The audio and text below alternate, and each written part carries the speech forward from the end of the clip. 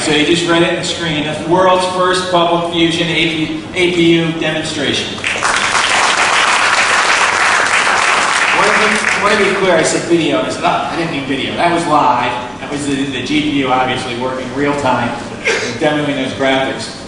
Very impressive. Now think about this again, I mentioned it. Just saw the uh, APU demoing DX11. So everything from a super high-end workstation all the way down the smallest form factors in, in the industry. Could you imagine getting that level of quality in that book about this size?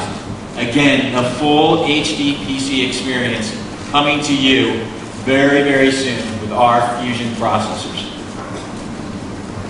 Now, of course, APU acceleration. So you'll see the, the icons popping up there, relatively low speed. If you look at the frame count, about two or three frames just to give you a rough idea of performance. How about, let's turn on that APU acceleration. Let's take advantage of that massively parallel capability that we have. Again, you're seeing 60 frames per second. Look at that experience. It's just dramatically different because of that acceleration. So think about it again. This is a low power APU where we're getting this type of, of performance.